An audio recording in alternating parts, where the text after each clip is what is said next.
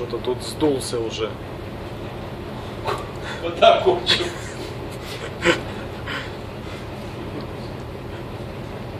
Ему разрешено блин, это, питьевой пользоваться.